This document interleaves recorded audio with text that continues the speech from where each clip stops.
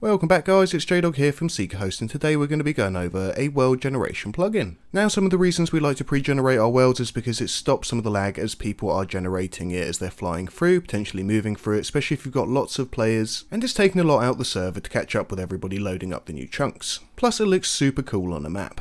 Just to give you an idea of what I'm talking about, if I open this one right here, you're going to see that it's generated as a massive circle. As you can see, I can go in, I can check out the world, and this world was only just started. So it's a brand new world, and I ran the generation, meaning that this much, and you can do this in different shapes as well. You can do this in a square, a circle. So I pre-generated a thousand blocks of my map, meaning that not only I can log on to stuff like MC View, check out my entire map like this, that looks a little strange, but all of your players can now fly through without having to generate all these new chunks because they're ready there for them and saved on the server world files. So guys, let's get started. The first thing that you're going to need is going to be a Minecraft server. If you haven't got one yet, head on over to www.seekahost.co and you can get some seriously cheap hosting, starting for as little as $2.50 a month or around £2 per month in the UK. We have both Europe and USA based servers, and you can go all the way up to the top package or create yourself a custom package. After that, we're going to need the plugin called Chunky, and this is going to be working for up to 1.19 and starting from 1.13. Now for this I'm going to be using the paper 1.19.2 server. The reason for this is because it's much more optimized for multiplayer servers, plus it can use Spigot and Bukkit download. So I'm going to be using paper, however this does also work for Spigot servers. Now if you want to download this manually, upload it using your FTP file access or using FileZilla. I'll leave the link in the description, download it and upload it to your plugins folder. However we're going to be doing it the much easier way with Multicraft, which is simply going to plugins. So first of all let's just make sure that we stop the server,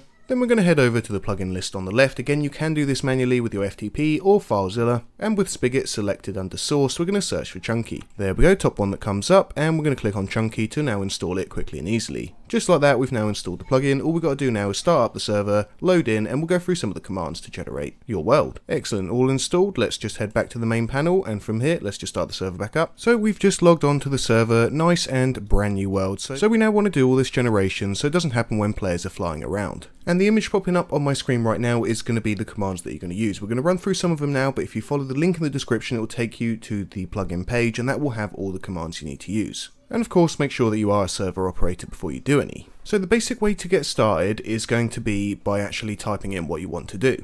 For instance, a very simple way to do this is by going forward slash chunky radius, and then choosing the radius that you want to generate. Once you've chosen that radius, you can then do a chunky and start, and then that will then start the generation. So that's the most simple way of explaining how it starts. However, you do get many, many more things that you can use with this. This is going to be such as the shape, where you want the center to be, the radius, the world border, whether it's at spawn, or whether you want to generate it in certain areas. So let's just go through some of the examples now. First of all, let's just choose what world you're in, whether it's the nether, the normal world, or whether you're using multiverse portal. So we're going to do a forward slash, we're going to do chunky, then we're going to do world Press space and it's going to give you the available world. So I'm going to choose this for the world. What this is now going to do is now Chunky is looking at this particular world to do the command. Now let's choose what shape this generation is going to be. So forward slash and we're going to do Chunky. We're going to type in shape and then after that you can choose one of the many different shapes that it has here. So I'm just going to go for a square this time. As you can see, shape changed to square. Now basically what you're doing is you're presetting up what you need for the generation before you then start the generation. Now let's choose where the center is. Again with forward slash we're going to go to Chunky. If you want it to be at spawn you can simply simply type in spawn, or if you want it to be at a certain coordinate, you type the x and the z coordinate. So let's say 100, we obviously leave out the y because we don't really care how high it is, then we do 100. So that's going to be